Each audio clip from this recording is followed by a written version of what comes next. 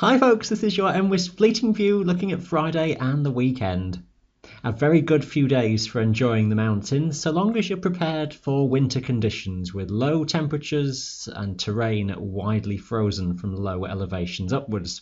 Here's the situation on Friday. We have a rather slack pressure pattern, so not too much wind around overall. One or two areas of showers, mostly just draped around coastal fringes, these falling as snow even to the lowest of elevations in most places northeastern parts of Scotland and around the Cheviots, and maybe just a few drifting towards the North Pennines. at The greatest risk, a few on the islands out to the west of Scotland, but most of the western mainland is dry and bright. A few bits of patchy cloud and some freezing fog around some of the glens, but otherwise it's a bright and sunny day with excellent visibility. A bit breezier maybe just toward the south of Wales, but even here it's generally a fine and sunny day.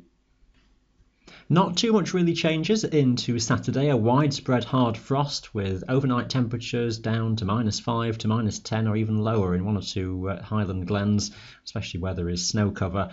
Just a gentle west to southwesterly breeze during the daytime, which will just start to draw a few areas of showers a bit more inland from the western coasts during the day. These again are some snow and some hail flurries edging inland across the West Highlands into West Wales and maybe just getting into the Lake District as well during the day. Lots of sunshine for many, some high clouds, a few patches of freezing fog, and a few cloud fragments around some of the corries, but most mountains in the clear. Sunshine generally best towards the east.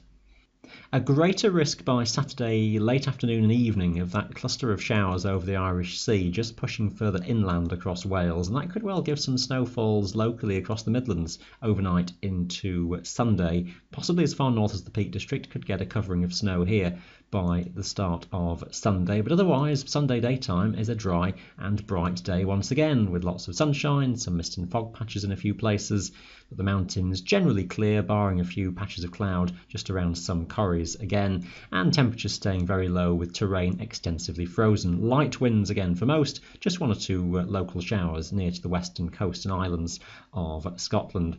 Some fronts away toward the southwest of England and Wales just starting to push in. It could be that some precipitation precipitation from that just starts to reach Wales by later Sunday. Some rain and drizzle at low levels, and some snow flurries could well come in to the hills as we go into Sunday evening and night. So watch the detail locally in South Wales as that low pressure system just approaches. The wind strengthening too by late Sunday and Sunday night in this part of the world.